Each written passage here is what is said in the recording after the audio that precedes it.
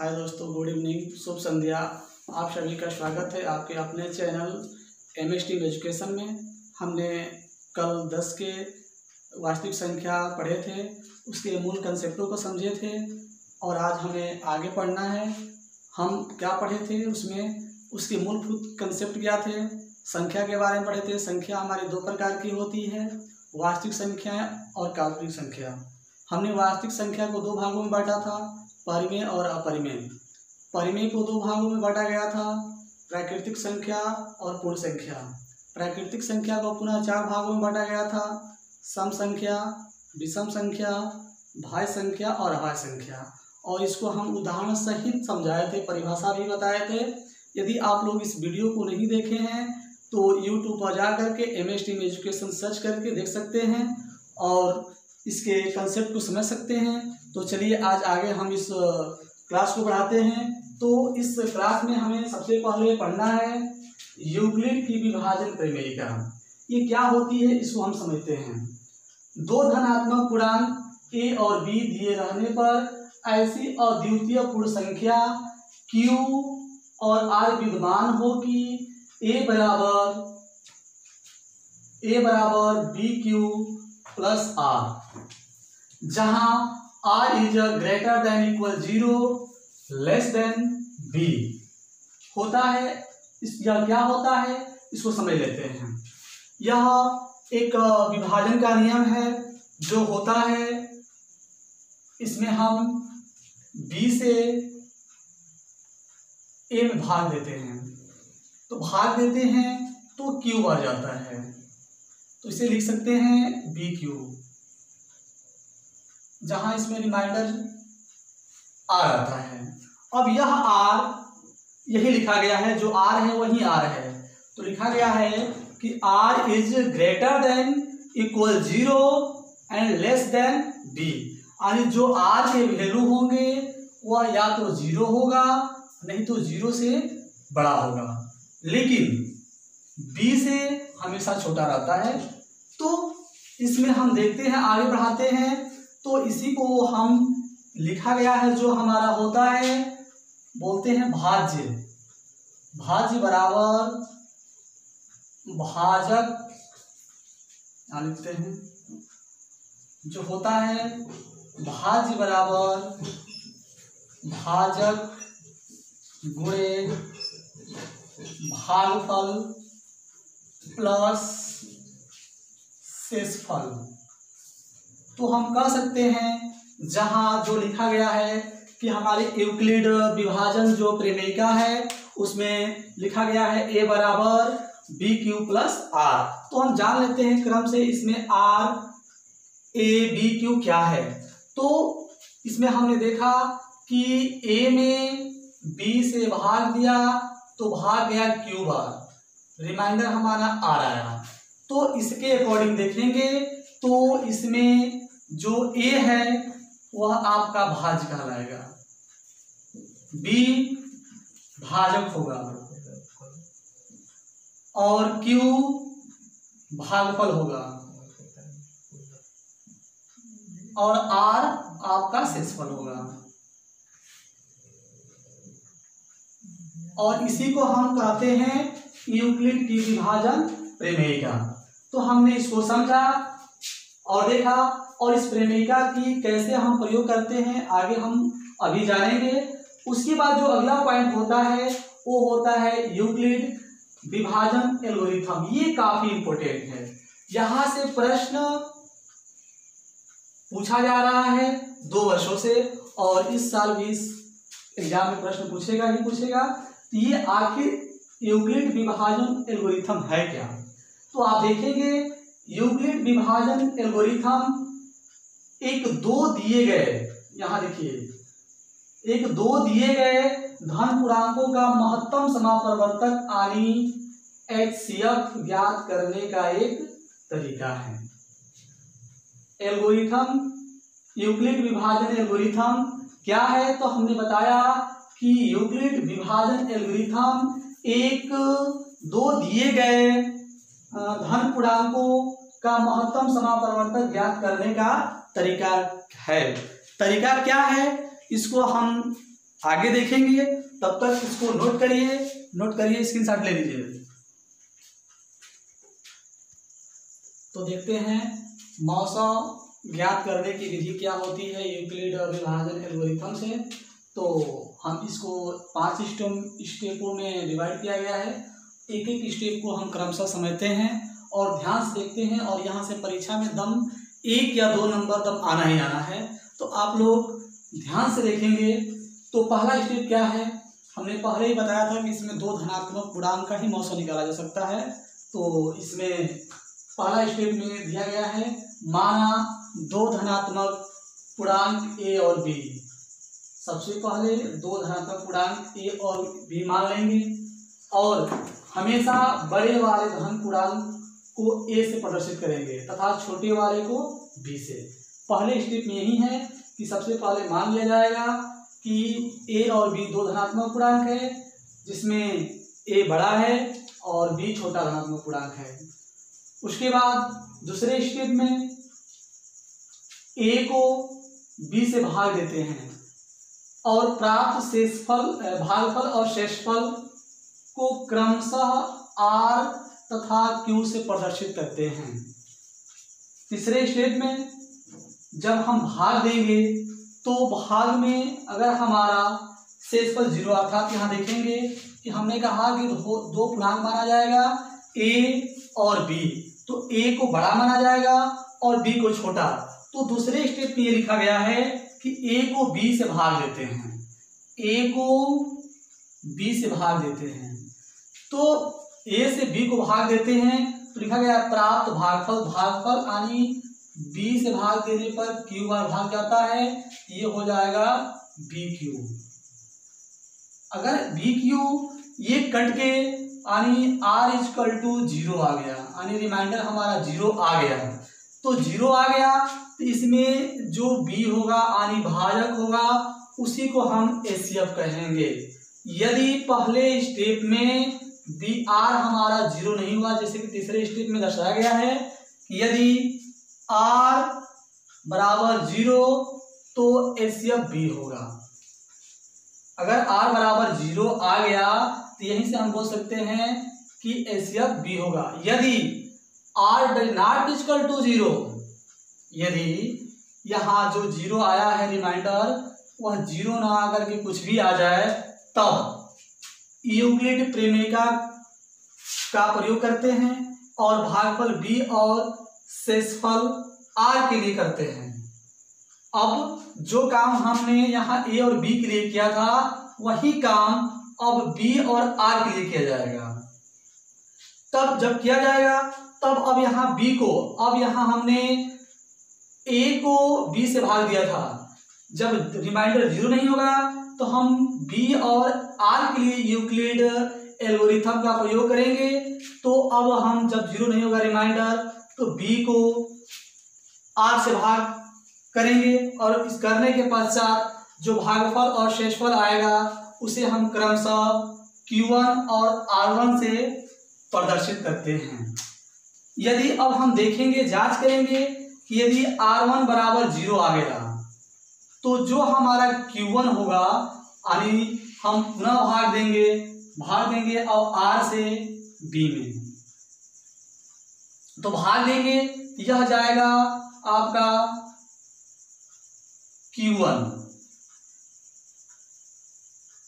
और ये जब जाएगा तो हो जाएगा आपका आर क्यू वन, और यहाँ जो आपका शेष बचेगा, वो हो जाएगा आर वन। तो इस समय जो हमारा ज़ीरो आ जाएगा, अर्थात जब भी रिमाइंडर हमारा ज़ीरो होगा तो उसका भाजक ही मौसम कहलाएगा।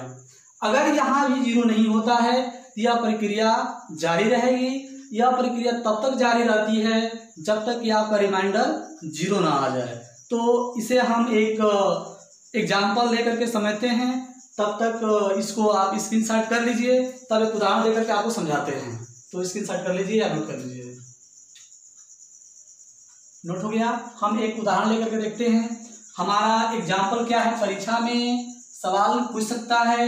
जैसे हम यहाँ एक, अपने तरफ़ से क्वेश्चन लिए हैं। परीक्षा में कोई और डिजिट दे करके, कोई और पूर्णांक दे करके आपसे प्रश्न पूछ सकता है। तो इसको इस स्टेप के अकॉर्डिंग देखते हैं कि इसका एसीएफ कैसे ज्ञात किया जा सकता है। तो प्रश्न है इक्यासी दो सौ तिहत्तर का मौसम ज्ञात कीजिए। तो हमें मौसम ज्ञात करने के बहुत तरीके हैं, लेकिन उन तरीकों का प्रयोग नहीं करना है। हमें सिर्फ़ यूक्लिड विभाजन एल्गोरिथम का ही प्रयोग करना है। तो हमने इसमें स्टेप वन में दिया गया है कि माना दो धनात्मक पूर्णांक ए और बी।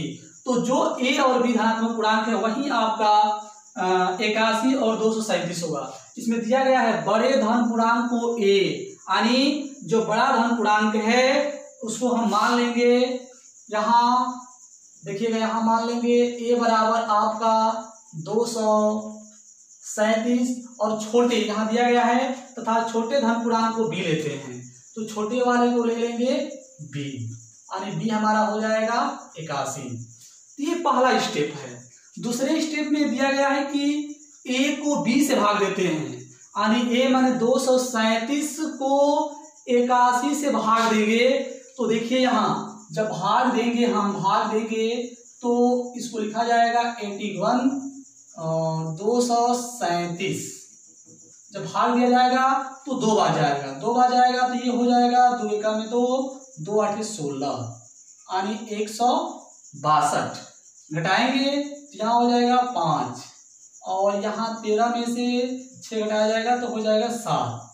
अब अब देखिए, यहाँ हमारा जो है रिमाइंडर ज़ीरो इसको जब हम एक यूक्लिड विभाजन प्रेमिका देखे थे तो यहाँ देखिएगा हमने बताया था कि यहाँ बी से ए में जब भाग देंगे तो क्यू बार जाएगा क्यू बार जाएगा तो इसे लिख सकते हैं बी क्यू रिमाइंडर बचता है आर तो इस प्रश्न को जब हल करेंगे तो लिखेंगे सोल्यूशन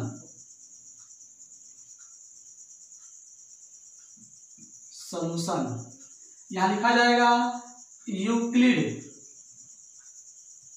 यूक्लिड विभाजन विभाजन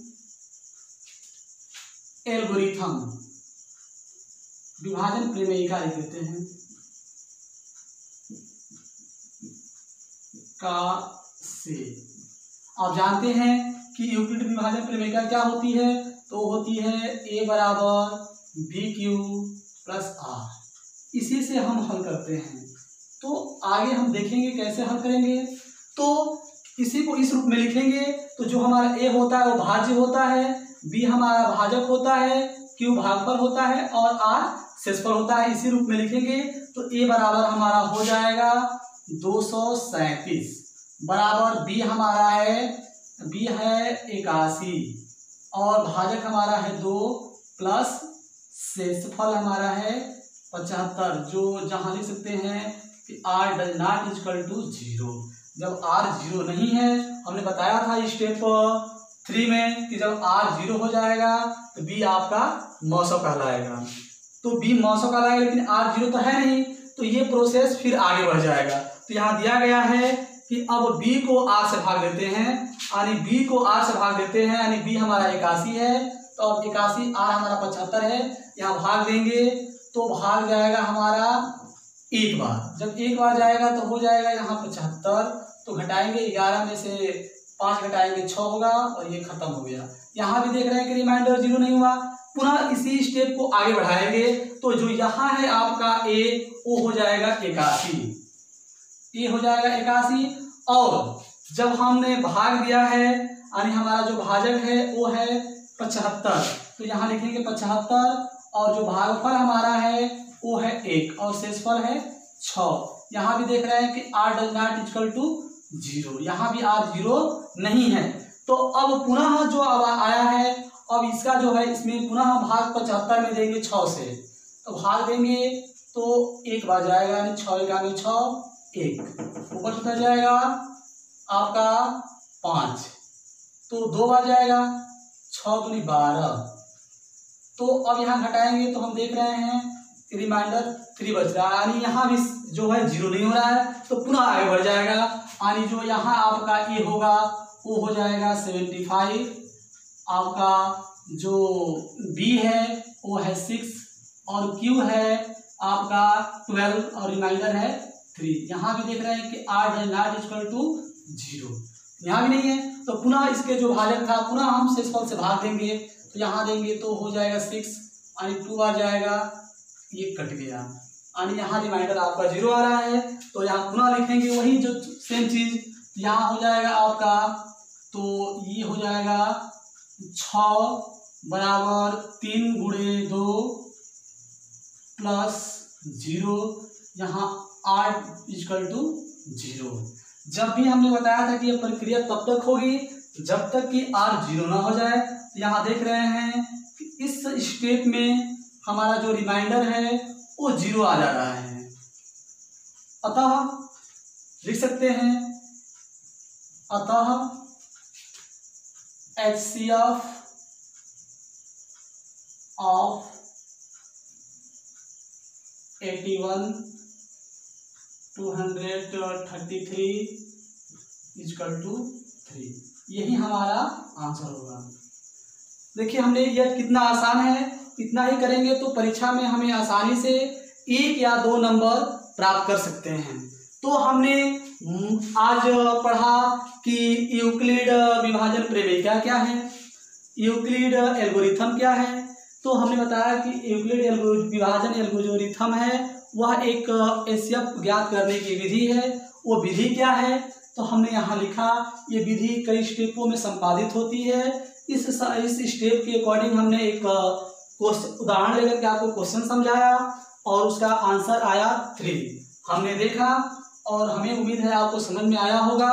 समझ में आया है तो आप आगे ये जो आपका जो ये था, पहला जो चैप्टर है हाई स्कूल का, जो वास्तविक संख्या है, उसका ये पहला उदाहरण है। अब हम आसानी से अपने पहले प्रश्नावली को हल कर सकते हैं।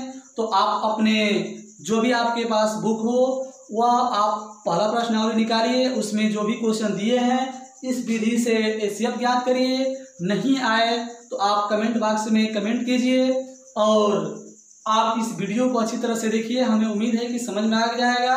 आप एक बार ना आए समझ में तो दोबारा देखिए और इसे अधिक से अधिक शेयर करिए कमेंट करिए और दूसरे बच्चों को भी बताइए कि नहीं। अब M S T education class चल रहा है। और दिन प्रतिदिन आपको स्टेप जो स्टेप जो भी होगा, आपको क्लासेस दिए जाएँगे। और जैसे ही ये वीडियो, ये आपका चैप्टर समाप्त होगा, आपको पीडीएफ के माध्यम से नोट्स इसका डिस्ट्रीब्यूट करा दिया जाएगा। तो आप अपने तरफ़ से एक नोट्स बनाते रहिए। अन्यथा यह एम एस टीम एजुकेशन आपको पीडीएफ के माध्यम से नोट्स उपलब्ध कराता रहेगा। तो आप अपने दोस्तों से, रिश्तेदारों से बोलिए और इस वीडियो को देखिए। घर बैठे आप इस क्लास का आनंद लीजिए और हमें उम्मीद है कि आपको काफ़ी मज़ा आया होगा। तो आप इसको देखिए, अधिक से अधिक शेयर करिए और कमेंट करिए। धन्यवाद।